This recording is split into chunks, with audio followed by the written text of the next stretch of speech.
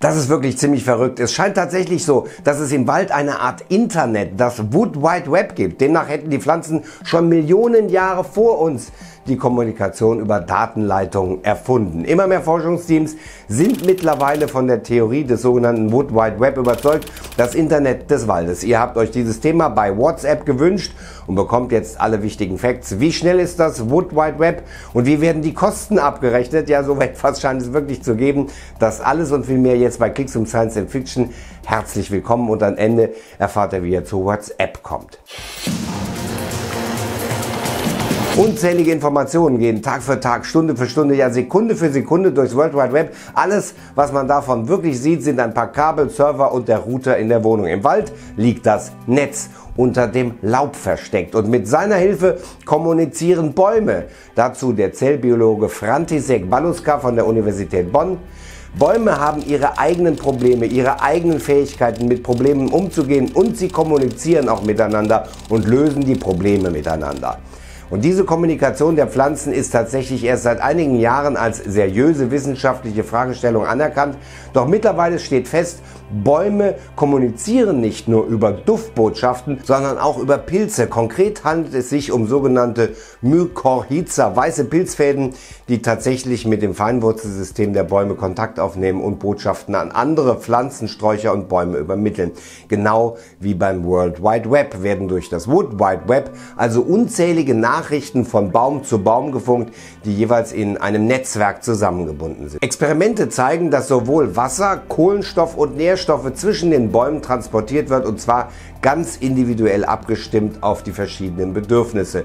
Droht den Nachbarbäumen beispielsweise auch der Befall durch Insekten, kommuniziert das die Kastanie an ihre Nachbarn weiter. Alles wird einigen Studien zufolge tatsächlich über sogenannte Mutterbäume gemanagt, ähnlich wie beim Film Avatar. Im übertragenen Sinne sind Pilze also die Glasfaserverbindung des Waldes. Forschungsteams nennen genau diese Verbindung Wood Wide Web und das gesamte Ausmaß, das kann man sich kaum vorstellen, denn die Pilze, die wir im Wald sehen, das sind nur die Früchte.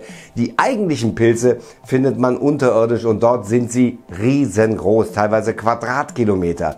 Das größte Lebewesen der Welt ist ein Pilz. Es ist ein dunkler Hanimasch, Größe 1200 Fußballfelder, Gewicht 600 Tonnen. Zum Verständnis, wenn ein Pilzsammler also einen Steinpilz findet und meint, einen Pilz gefunden zu haben, ist das in etwa so, als wenn man einen einzigen Apfel findet und sagt, hey, ich habe einen Apfelbaum gefunden. Der Pilz selbst ist also ein riesiges Geflecht, die Pilze sind nur die Früchte oder Blüten wie bei Blumen, die dann die Sporen, die Samen verbreiten. Und wir kennen das als Internet-User nur allzu gut. Um das Internet nutzen zu können, müssen wir zahlen. Und so geht es auch den Bäumen, die wirklich hohe Kosten haben. Konkret stellen die Pilze also die Möglichkeit der Kommunikation her, also das Internet. Dafür bekommen sie Nahrung von den Bäumen. Im Klartext Zuckerlösung. Und das nicht so knapp. Bis zu einem Drittel der gesamten Photosyntheseproduktion müssen die Bäume an die Pilze zahlen. Eine Art Symbiose also. Die Pilze können sich nicht selbst ernähren, sie sind auf das angewiesen, was ihnen andere Lebewesen zur Verfügung stehen, stellen. Die Bäume können erst durch die Hilfe der Pilze kommunizieren. Die wichtigste Frage neben den Kosten ist natürlich die Geschwindigkeit und die ist im Wald ziemlich gering. Forschungsteams schätzen die Nachrichtenübertragung auf etwa einen Zentimeter pro Sekunde und das ist für die Bäume im Wald mehr als ausreichend. Die Wissenschaft tut sich mit diesem Thema, also dem Verhalten, tatsächlich noch etwas schwer. Es ist also noch nicht wirkliche Lehrmeinung. Es gibt noch Unsicherheiten. Also ist die These noch eher im Stadium der Hypothese.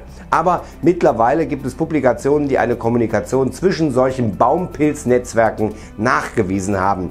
Wenn man davon ausgeht, dass Pflanzen kommunizieren, sind viele Fragen offen. Verfügen Pflanzen über ein Sozialverhalten?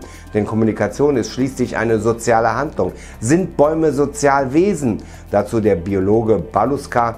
Ich für meinen Teil gehe davon aus, dass Pflanzen Lebewesen sind. Wenn sie aber Lebewesen sind, müssen sie auch ein Sozialverhalten haben. Als Beispiel nennt der Forscher in einem Interview junge Bäume, die in einem ganz dichten Wald wachsen. Normalerweise müssten sie absterben, da sie kaum Licht bekommen. Doch wenn sie mit den großen Bäumen drumherum verwandt sind, bekommen sie Zucker über das Pilznetzwerk und wachsen weiter. Baluska geht sogar noch weiter. Er ist sich sicher, dass Bäume auch ein Gedächtnis haben. Denn offensichtlich nehmen sie die Daten ihrer Umwelt nicht nur wahr, sondern speichern sie und stellen sich damit auf Veränderungen ein. Mehr als 20 Parameter, die sich ständig verändern, nehmen Bäume demnach aus der Umwelt wahr und auf dieser Grundlage treffen sie dann Entscheidungen. Beispielsweise entscheidet sich eine Wurzel dann, ob sie nach links, rechts, nach oben oder nach unten wächst. All diese Erkenntnisse, die es weiter zu erforschen gilt, können uns nur viele Hinweise bezüglich unserem Umgang mit Pflanzen geben, wie beispielsweise in der Land- und Forstwirtschaft. Beispielsweise folgt daraus der Schluss, dass ältere, erwachsene Bäume wichtig für das Wachstum der Jüngeren sind. Also würde es Vorteile bringen, wenn wir in der Forstwirtschaft die sogenannten Mutterbäume bestehen lassen. Außerdem sollten wir unter Rücksichtnahme auf unterirdische Netzwerke den Vorgang des Pflügens bewusster einsetzen. Ja, und wenn ihr als erstes Neues zu diesem Thema und zu allen anderen Themen erfahren wollt, dann meldet euch hier bei WhatsApp an. Dann erfahrt ihr vor allen anderen von mir vom neuesten Video eben vorab garantiert. Ihr könnt dort direkt in der Redaktion von Klickso mitmachen und mir Themen vorschlagen oder andere Vorschläge machen. Der direkte Draht zu mir. Einfach hier draufklicken und natürlich nicht das Abo mit der genau Glocke vergessen. Hier geht es weiter mit dafür draufklicken. Pflanzen mit Superkräften. Ja, spannendes Thema. Ansonsten bis dann. Bleibt dran.